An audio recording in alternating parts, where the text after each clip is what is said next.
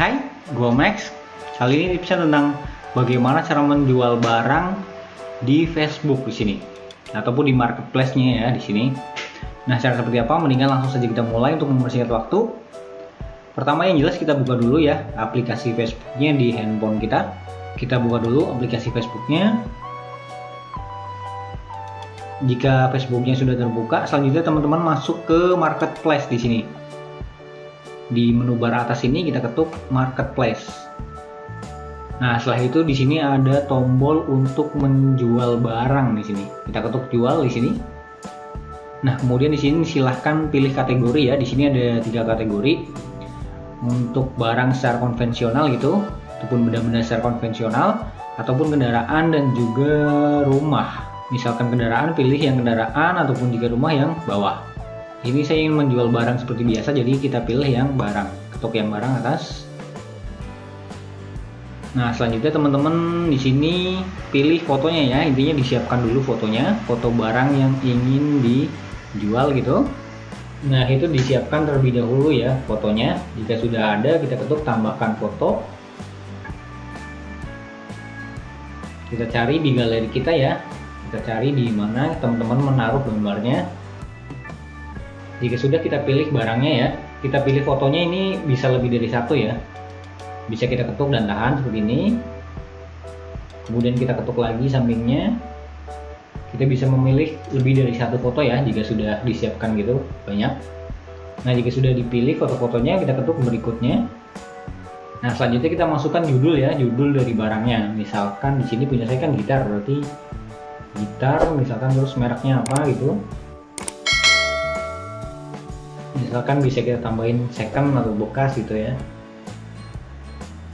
Misalkan ditambahin mulus atau apa gitu kan untuk menarik perhatian dari calon pembeli gitu. Jika sudah kita masukkan harganya ya.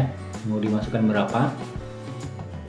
Nah jika sudah di sini biasanya akan masuk ke kategori secara default. Namun jika di sini kategorinya salah ataupun belum ada kategori teman-teman bisa ketuk di sini dan pilih kategorinya gitu barang yang teman-teman jual itu masuk kategori apa gitu? Misalkan handphone berarti kan masuknya di elektronik gitu kan?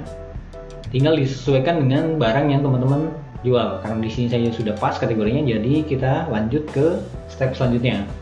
Di sini kita ketuk yang kondisi.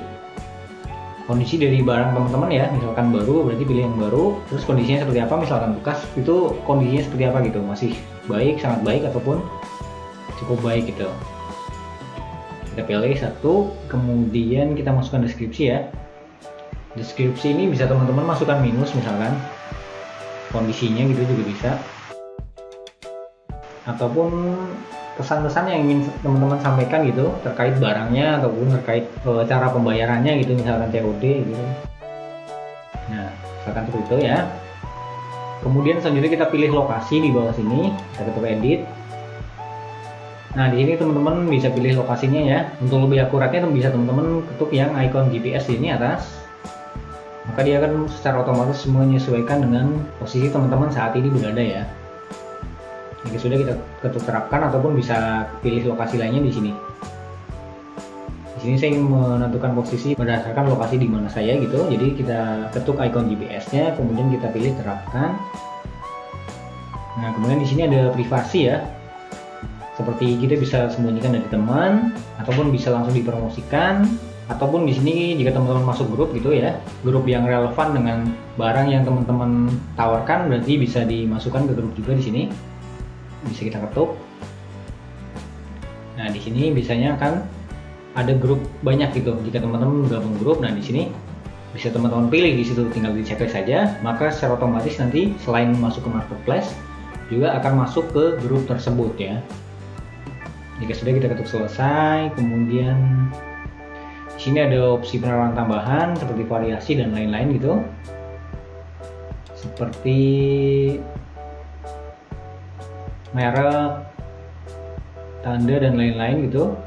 Bisa teman-teman tambahkan lebih detail lagi. Jika sudah kita ketuk berikutnya. Dan langkah terakhir adalah kita publiskan. Kita ketuk publiskan Nah, di sini postingan kita sedang diterbitkan ke marketplace ya. Nah, di sini sudah aktif ketika saya refresh tadi. Nah, intinya seperti itu. Jadi kita bisa pilih jual, kemudian kita pilih jenis barang yang ingin dijual, siapkan foto dan juga deskripsi dari barang yang dijualnya. Ya, apabila masih kurang jelas terkait caranya, teman-teman dapat bertanya di kolom komentar. Cukup sekian dan sampai jumpa.